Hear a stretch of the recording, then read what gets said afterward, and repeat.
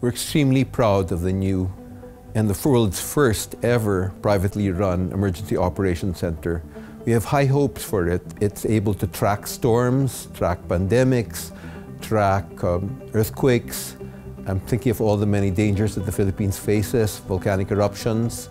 And in addition, we're able to plot out private company information, which are password protected, so that our, our organizations, which often compete with each other commercially, will feel safe including their information on this map that we're building.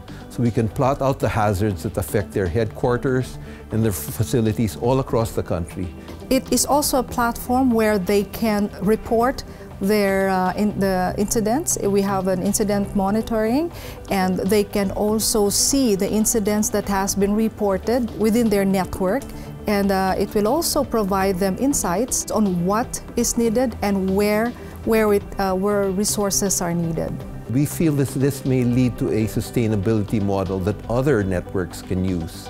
In addition, we're hoping that the Emergency Operations Center can serve as a back end to service other organizations in this area so that they can send advisories to the different companies in their country and we're looking closely at this sort of type of outsourcing model.